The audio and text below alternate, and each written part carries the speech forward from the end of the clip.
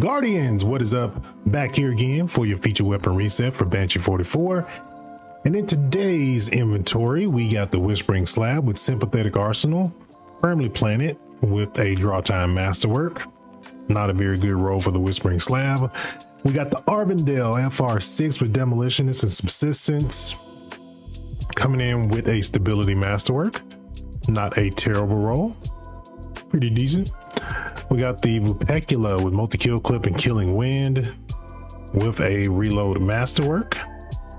We got the legal action 2 with frenzy and feeding frenzy with a reload masterwork.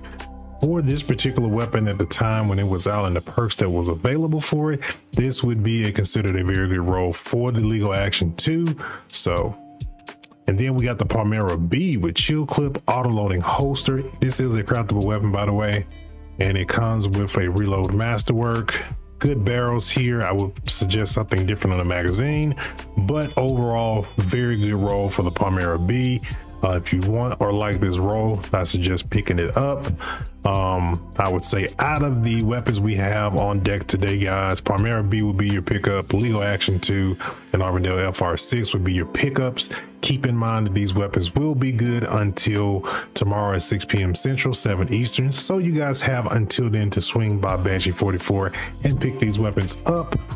But with all that being said, guys, if you have not subscribed to the channel already and you've come across my videos or watched my videos, you should go ahead and hit that subscribe button.